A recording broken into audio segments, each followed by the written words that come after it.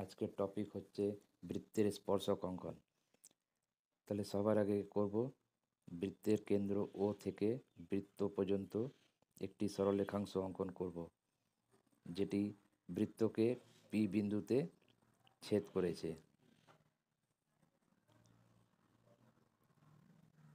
ওপি সরলরেখাংশ।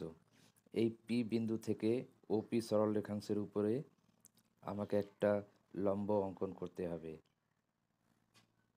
P বিন্দুকে কেন্দ্র করে জ্যামিতিক উপায়ে কম্পাসের সাহায্যে আমরা যেভাবে অঙ্কন করি, সেইভাবে বৃত্তচাপ কেটে কেটে বৃত্তচাপ কাটলাম।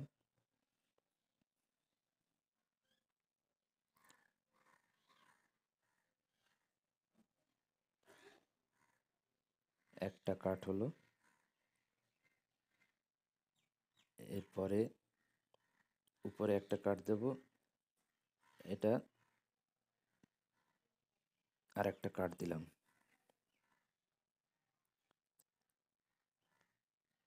তো এই যে পয়েন্টটা আমি পেলাম কিউ পয়েন্ট কিউ পয়েন্ট এবং পি পয়েন্ট যোগ করে উভয় দিকে বর্ধিত করে দিলাম।